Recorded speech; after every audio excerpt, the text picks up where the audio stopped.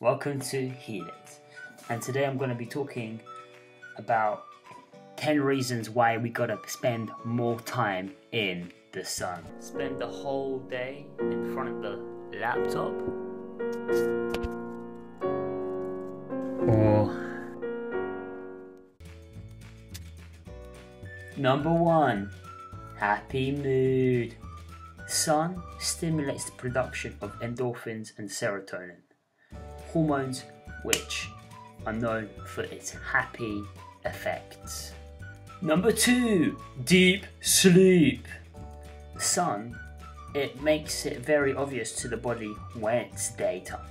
So this gets your circadian rhythm back into order. So when the body knows when it's day and when it's night, then the melatonin, which is the hormone which regulates sleep, is produced most efficiently when it should be, i.e., at night, producing deeper sleep. Number three, better erections. When the sun hits your skin, it releases into your body a lot of nitric oxide. Nitric oxide is like the same way like Viagra works. It works on your on those same receptors which produce nitric oxide, have you know? Number four, reduce blood pressure. The nitric oxide, which I talked about earlier, when it goes into the arteries and the blood vessels, it actually relaxes them, so prevents them from getting much more narrow. Where this kind of basically prevent, prevents stroke, heart disease, and high blood pressure.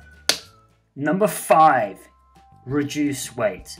Increased serotonin reduces people's appetite.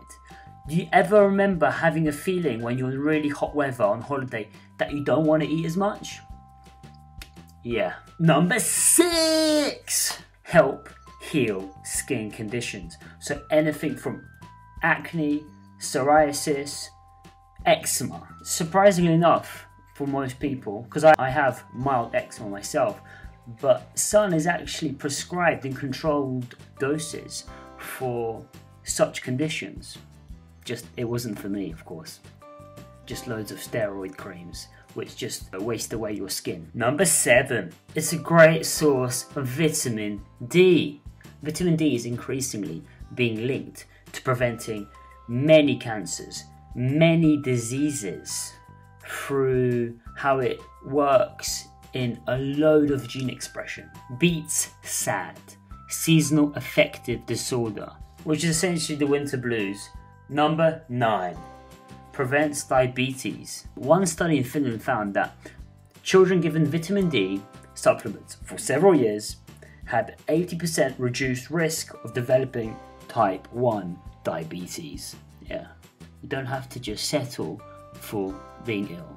It improves your smile, reduces amount of cavities, keeps your teeth strong. One study found that the proportion of untreated cavities in Scotland was three times greater than in the southernmost regions of the UK. Number 10 beats period problems. About one in five women of childbearing age suffer from polycystic ovary disease, which causes abnormal periods, unwanted body hair, and infertility. In one study, half of, of 14 women treated with vitamin D and calcium recovered normal periods and two became pregnant.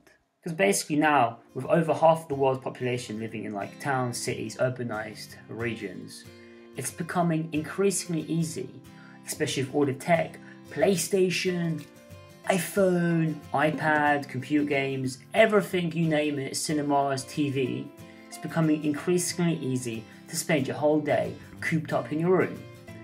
And when the sun does come up, which isn't every day, in the northern hemisphere it's rarely in the whole year to be honest, then really people don't make the most of it.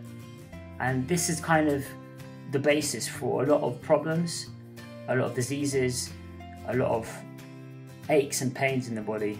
And I think it's time, I don't know, we just become a bit more aware of it at least. Because it's lifestyle is linked to everything. If you like this video, please like. You'll let me know what I should produce more of.